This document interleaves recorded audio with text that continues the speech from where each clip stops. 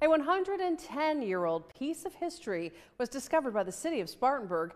A piece of the first city hall was found. Scarlett Lizjak shows you how there might be more to this find at the site.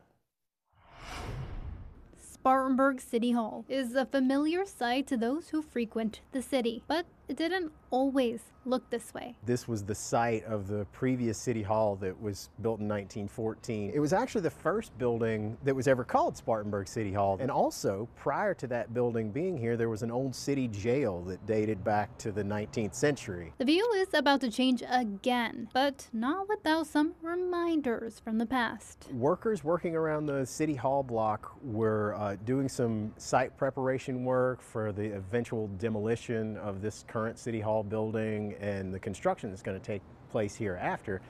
And uh, they found an old capital top for uh, an old um, column that was on the City Hall building. That old City Hall was demolished in the late 50s.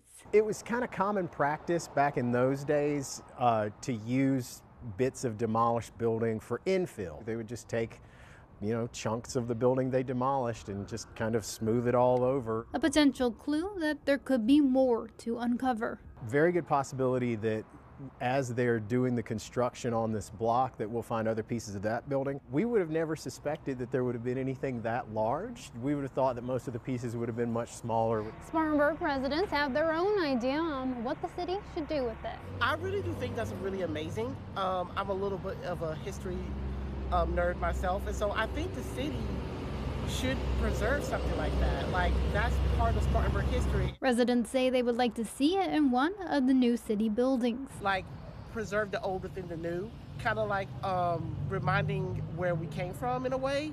And I think that would be a very great thing to do. The city says that demolition of the old building should start sometime in the summer. In Spartanburg, Scarlett Lizjak, 7 News. The city says it's exploring different options on how to display the discovery to the public. They also say there's a time capsule from 1961 in the current city hall, and they plan to open it before they demolish it.